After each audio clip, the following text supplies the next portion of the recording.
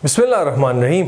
Assalamu alaikum. Salaar Khan here, and today we do what? Just a smaller video, minor video, uh, you know, some basic things, not important video. If you want to skip it, you can just skip it. This is just a basic level things, right? You may know this very well. This is article 1.5 of the book, which is the units of energy. So I'll give it the name. Uh, this is what units of energy so basically what is energy? It is the the, the cap capability of anything to do work. Capability of something to do work is known as its energy. So the most important forms of energy are three. You have mechanical energy you have electrical energy and then you have thermal energy. So these are the three major forms of energy and most important for us right? Different units have been assigned to various forms of energy. However it must be realized that since mechanical electrical and thermal energies are interchangeable of course they are interchangeable. One form converted to another form. Mechanical converted to electrical electrical converted to mechanical. Examples are what? Mechanical to electrical is what? Is a motor electrical to mechanical is what? Uh, uh, electrical to mechanical motor uh, mechanical to electrical generator right? So you have them what? I would write over here that they are interchangeable why? Because one of them can be converted to another. Right? Yes. It is possible. So it is possible to assign them a single unit. So we may, we may have a common unit for all of them. Why? Because they are all interchangeable. So we it would be easy for us as well. So let's say the first that we talk about is the mechanical energy. We we want to talk about some units of the mechanical energy the units of mechanical energy is Newton meter or joule. So the unit is what? The unit is Newton meter or it is equivalent to joule. It is in the SI system. Fine, yes. Now what is Newton meter? So the work done by a, on a body is 1 Newton meter if a force of 1 Newton moves it through a distance of 1 meter. So 1 Newton meter is work done if a force of 1 newton is applied on a body and it moves it through a distance of 1 meter so you say that a work has been done of 1 newton meter. So this is what this is the mechanical energy. This is the mechanical energy in joules or newton meters. Mechanical energy in joules is equal to 1 newton meter which means a force of 1 newton displaces a body through a distance of 1 meter. Right? Yes. This is for the mechanical energy. The second is for the electrical energy. So the unit is what? The unit for electrical energy is watt second or watt second is equivalent to joule. Watt second or joules. So it is defined as 1 watt second or joule is transferred. This, this much energy is transferred.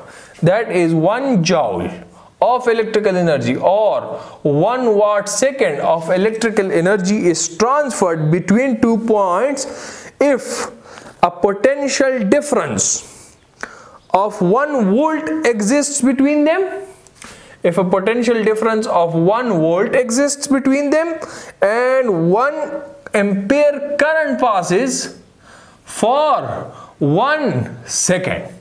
So the energy is said to be 1 joules right? Yes 1 joule energy or 1 watt second energy is transferred between two points. If a potential difference of 1 volt exists between them and a current of 1 ampere passes for 1 second this is the definition for the electrical energy. Now watt second is quite a, a, small unit quite a small unit but we are we are studying the course of power system operation so we need a bigger unit. Why? Because we have number of units consumed are so much a lot of electric energy is being consumed so we go for kilowatt hours. Kilowatt hour you are familiar with so basically we start with a watt hour. You have what? You have a watt hour. So so this would be what? This would be one watt an hour. So hour uh, you have to uh, convert the second into mi uh, the minutes into seconds. So watt seconds? So an hour contains how many seconds? Are 60 minutes and then further 60 seconds. So this would be 360 so 1 watt hour is what? 3600 this is 3600 seconds. So 1 watt hour would give you 3600 1 watt hour is 3600 watt seconds. Yes? Yes. So this is 3600 watt seconds. And similarly then you can have 1 kilowatt hour. So our basic unit is 1 kilowatt hour. So 1 kilowatt hour would be the same thing in watt second so you also have to introduce a kilo. So this would be a 3600 into 10 to the power 3 watt seconds. Or you would write 36 into 10 to the power 5 watt second. This is for kilowatt hours right? Yes. The next is the thermal energy or the heat energy. So I would write over here heat is what he the book says is a sensation of warmth. Anyways it is right? So heat is uh, that energy which produces a sensation of warmth. The unit is either so they've defined three units over here calorie british thermal unit and the centigrade heat units so this is also joules okay? Or 36 into 10 power 5 joules. So for heat they have defined three units. The first one is let's say calorie. So one calorie it is the amount of heat required to raise the temperature of one gram of water through one degree centigrade. So one calorie one calorie is what? Is the is the amount of heat required to raise the temperature of one gram of water by 1 degree Celsius. Right? Yes. Sometimes you use kilocalories. So kilocalories what? 1000 uh, so the kilocalorie would be what? Kilocalorie. It would be the amount of heat required to to, to raise the temperature of 1 kilogram of water by 1 degree centigrade. So this is equal to 1000 calories of course. Right? Yes then you have the British thermal unit BTU British thermal unit which is expressed as B and then you have T, H and U. So 1 BTU is what? It is the amount of heat required to raise the temperature. 1 British thermal unit is the amount of heat required to raise the temperature of 1 pound of water by how much degrees? By a 1 Fahrenheit. By 1 Fahrenheit. Yes, yes. Similarly, then you have the next is the centigrade heat units. You have the centigrade heat unit which is what CHU so one centigrade heat unit is what? It is the amount of heat required to raise the temperature of one pound of water through one degree centigrade. So this is the next unit for heat. So they have discussed three units for heat. So you can uh, do the conversions as well. The book has written over here are some conversions and do you want me to write them over here? Do you want me to write them over here? Relationship. Let's say we write it. Let's say we write the relationship between different energy units. So I would just write it. I will not go into the detail of it. So the first is between electrical and mechanical. The first one is between electrical and mechanical so this says what?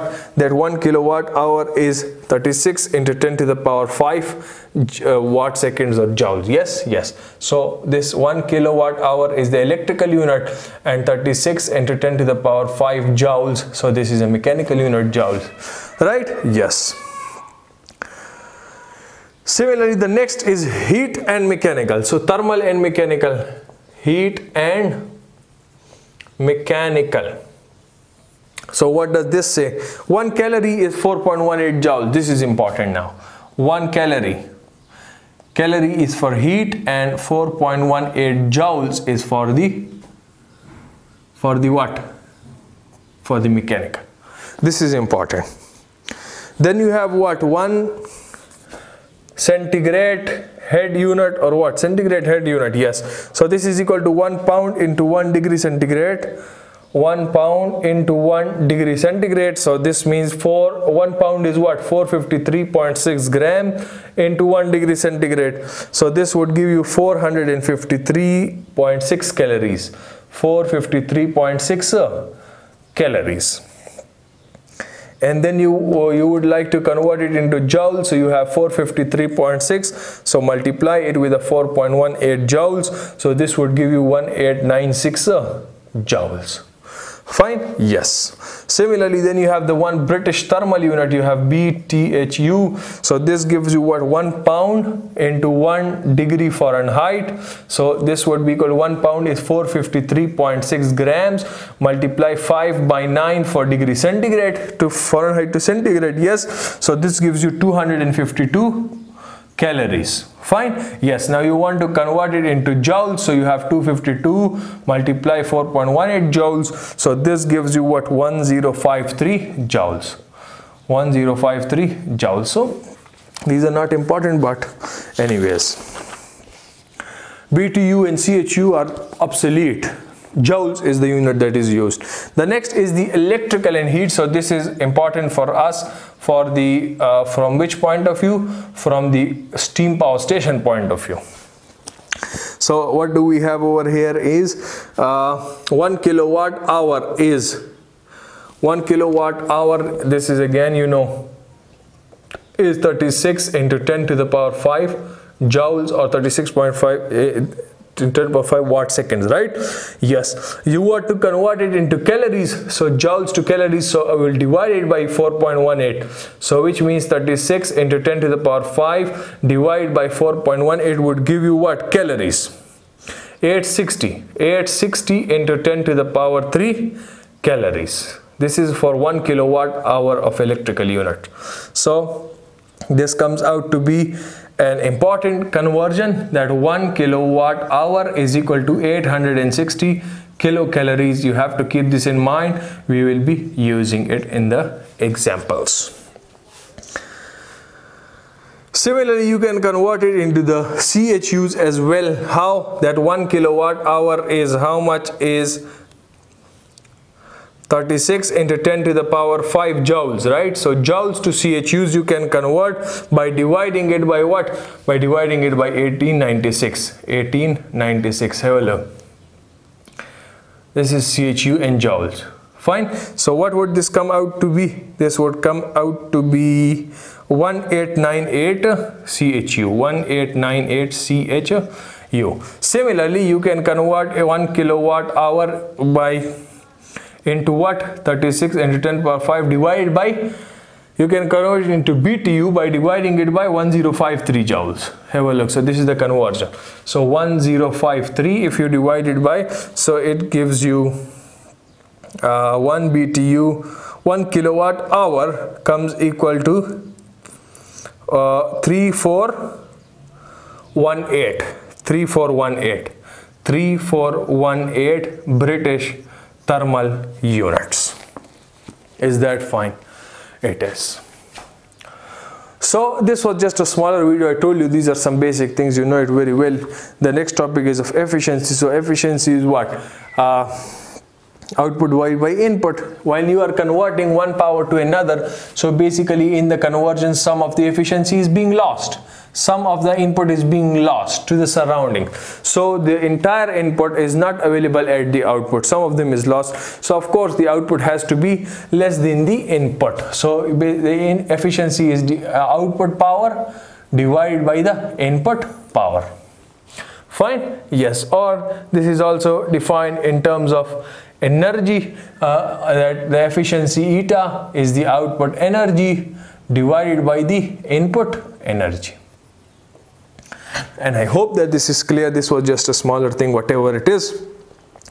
So I believe that I finished this video over here.